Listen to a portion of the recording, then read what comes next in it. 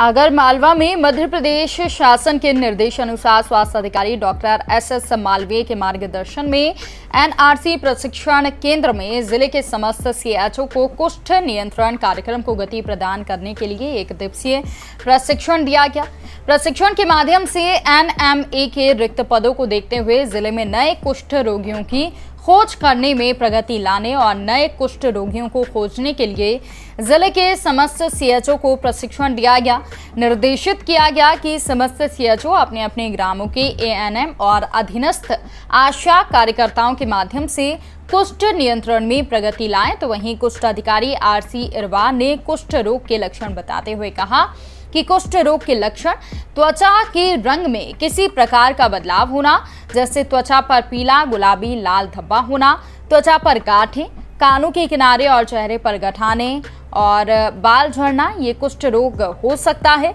उन्होंने बताया कि दुनिया के 60 प्रतिशत कुष्ठ रोगी भारत में निकलते हैं और शासन के द्वारा दी जाने वाली निशुल्क एमडीटी की खुराक खाने से 90 प्रतिशत रोगी के शरीर में बैक्टीरिया मर जाते हैं और वो रोग मुक्त हो जाता है। कार्यक्रम है सर। आ, मैं जिला कुष्ठ अधिकारी जिला आगर मालवा। कुष्ठ नियंत्रण कार्यक्रम के अंतर्गत आज 20 जुलाई 2022 को जिला मुख्यालय के एनआरसी सेंटर में एक दिवसीय कुष्ठ नियंत्रण कार्यक्रम प्रशिक्षण रखा गया है।